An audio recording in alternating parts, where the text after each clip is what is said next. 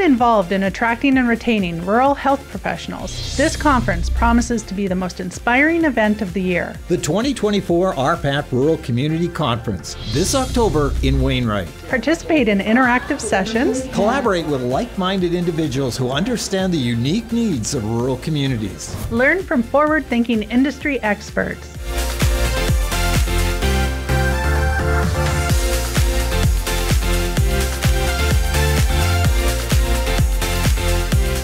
Hi, everyone. I'm Kim Hyshka, and I lead an organization called Dialogue Partners.